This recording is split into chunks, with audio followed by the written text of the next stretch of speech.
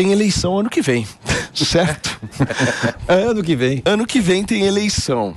E o senhor é candidato à reeleição, certo? Uhum. A minha pergunta é muito simples. Você vai ser candidato da direita ou não? Também.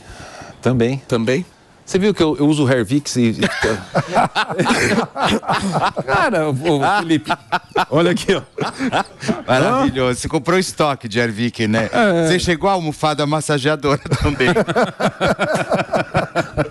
Muito bom. Não, mas quando, quando, quando eu te é. pergunto isso, eu pergunto, obviamente, porque a gente aqui está recebendo vários candidatos, pré-candidatos até, gente que está querendo, de alguma forma, se colocar no ano que vem.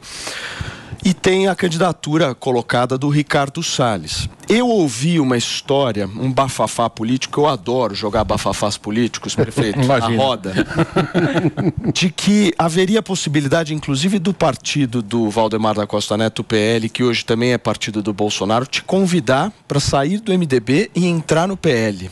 Existe essa possibilidade?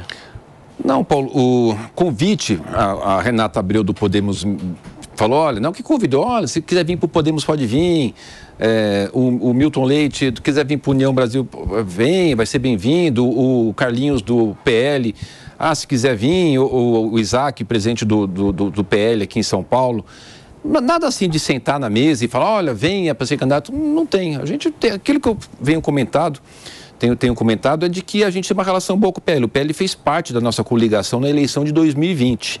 Nós ganhamos a eleição juntos e continuamos o governo juntos. Né? O, o, o Ricardo entrou depois no PL, então é natural que ele, que ele queira ser candidato sem nenhum problema, mas não dá para desconsiderar uma relação que a gente tem antes, que antecede a, a entrada dele no partido. Ou seja, você está trabalhando para o PL te apoiar, independente se você saia ou não do MDB seria o meu desejo. Evidentemente, tem a dinâmica do PL, né? obviamente, a autonomia deles, mas que a gente tem uma boa relação e que a gente tem feito um trabalho junto. É importante colocar isso, Paulo. Na eleição de 2020, o PL fez parte da coligação que foi é, é, escolhido pela população em 60% a continuidade de uma gestão que o PL já fazia parte. Então, é um processo que a sociedade já avaliou em 2020, é, optou pela continuidade desse trabalho conjunto, né, nosso com o PL, estamos juntos. Agora tem muito, muito, muito chão aí pela frente. Que então, foi, o, o, que o prefeito está dizendo é o PL não pode dizer que é oposição, né? Porque vem no governo há bastante tempo, né? Traduzindo, é, Salles não vê jogar pedra porque o PL está junto. É. É isso, acho que é, o importante é que a gente tenha um debate num nível bacana, né? Que as pessoas não ficam mentindo, criando fake news, é, fazendo é, declarações que, que, que não, não tem nenhuma comprovação. Acho que elevar o nível é importante